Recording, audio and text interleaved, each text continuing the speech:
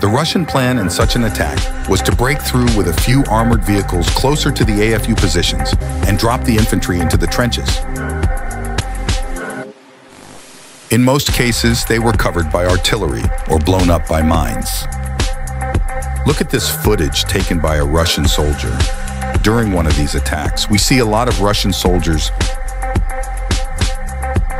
One of them started filming the vehicles that were on their way to attack Avdiivka.